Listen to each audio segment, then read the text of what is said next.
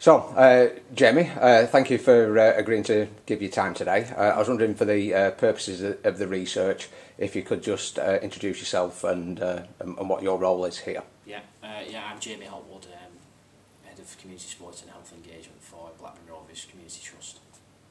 And uh, for how long have you been working for the uh, For trust? about four and a half years now. Okay.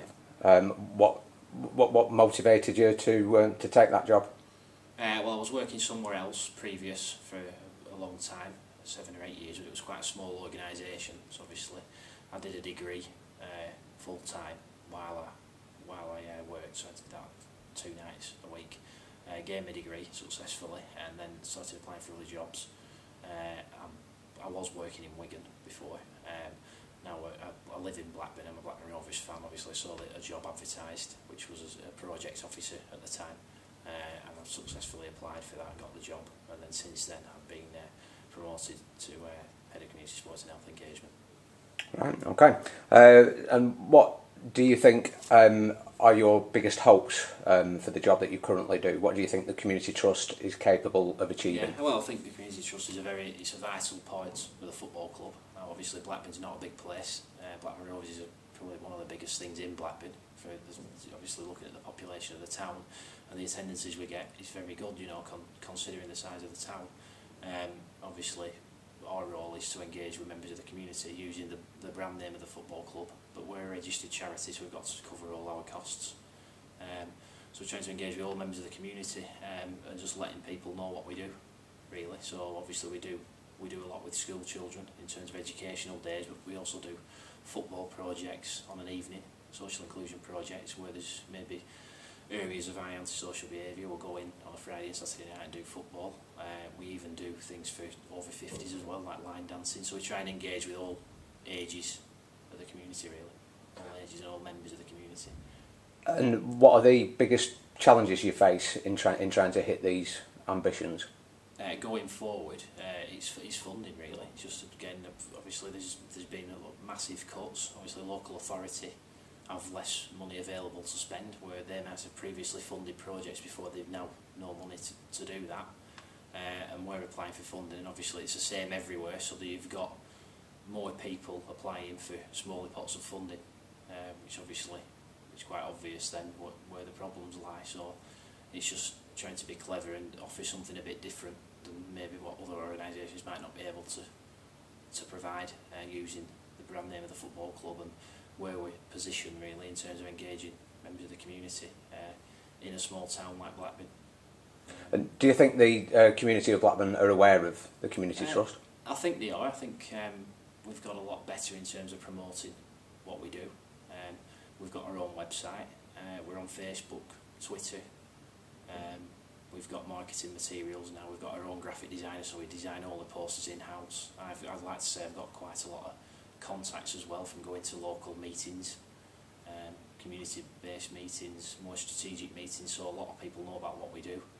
Um, and we've also got uh, an online database as well, so every time someone comes to say do a soccer school or a Saturday morning coaching club, uh, as long as we've got their email address, they'll be sent all the information all for all upcoming events and things like that. So we are getting better Uh, we've got two, we get two pages in the match day program as well, so straight immediately that you know fans can see what we do if they get a program, and we've done stuff before which we've marketed things on the big screen as well at a match, so there's that as well, and obviously we've got a good link with the press office, so all good news stories and things they, they, they get circulated to local media, really, and it goes on our websites and other areas, and you, you see a lot in the Telegraph and things like that. So, but we, really we need to just continue that, try and, and get let more people know what we do.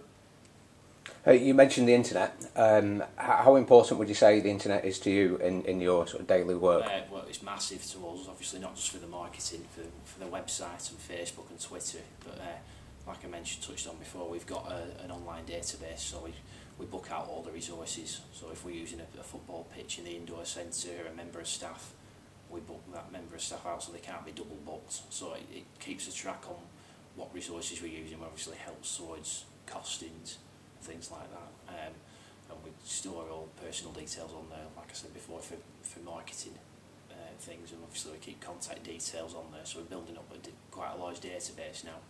Uh, and we've also got indoor leagues where that the system also generates fixtures and league tables for all our indoor leagues that run throughout the week. Uh, and the league tables and fixtures are updated automatically and it automatically updates our website as well. So teams can log on to our website, see where they are in the league, see what time the game's on. So it's, yeah, it's, it's massive for us. Do you use the internet to promote yourself? Um, yeah, yeah, we do. Like I said, we do the email marketing and we all our fly promotional flyers, promoting activities and things are put online as well, so people can go on and download the application for it because some of the flyers are quite they're like two or three megabytes. So sometimes we will email all, all our contacts and just send a link to our website as well and that in turn when people are logging onto our website they might see what other things we do as well. Because uh, a lot of people just think might just think we do football but we do everything from we, all our coaches are multi-sport coaches so we can do we do badminton we even do summer on Thursday evening. So a lot of people go on online and they, they can learn about other things we do as well. So we do try and direct people to our website as well. So you get different ages of people and different ages, different... yeah. From three, we've even got we've got a football development centre now for three-year-olds, three to five-year-olds, and then we'll have on a third. That's a, that's a Tuesday evening, but then on a Thursday we'll have we have a tea dance. So you get seventy to eighty-year-olds turning up. So we try, we do engage with all ages of the community, really, and all types of members of the community. Um, and we don't just deliver stuff here, we actually go off site and things. We understand some people have problems with transport, so we go into the areas and deliver things as well. Is, is there anything um, as regards to the internet that you would like to use more of? Um, uh, I think we continue to promote the stuff. Uh, obviously, we've been liaising with Blackburn College marketing departments as well about how we can do, how we can expand really on marketing ourselves. And also, I touched upon uh, maybe text messaging as well, because we obviously keep everyone's contact details. If we can have like a text messaging service that promotes everything we do, because a lot of people give us their email addresses, but their personal email addresses rather than their work ones, so they might not necessarily check it as much. Um, so if they have a text message, I mean everyone keeps their mobiles on them all day, every day really, so it'd be good if we could text people, even if it directs them to a website to look at, them, for example, if soccer camps will be starting in a few weeks, just to promote that really. Would, would there be any kind of specific features that you would like out of this resource that promotes? Uh, everything that we do at the minute, so obviously our online booking system, data collection, uh, promotional things. Uh, needs to be a full, a full package really, obviously that will depend on the cost and things like that. So.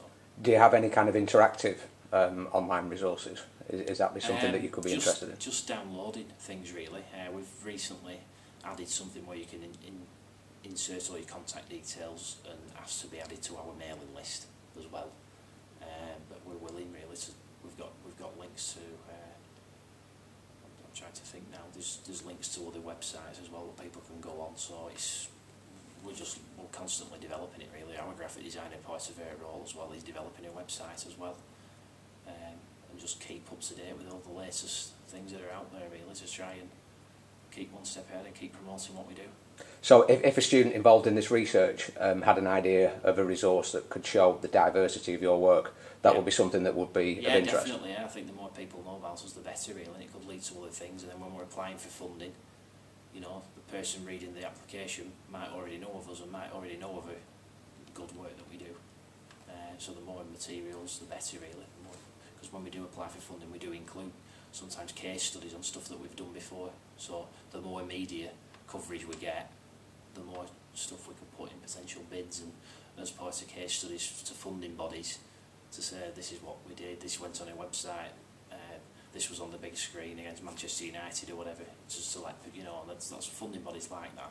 They like seeing everything that we do really and that, that people know about it to raise the awareness of their project as well as a national national project. So. Right, okay, thank you. Uh, very interesting. Um, Final question. Um, the project is uh, following um, part of a teaching philosophy known as EduPunk. Uh, so, uh, if I was to say the word punk to yourself, what what kind of things would you would you think of? I just think of a type of music, really. Sex Pistols. That's that's as much as I know really about punk. well, thank you very much. Yeah, thank you.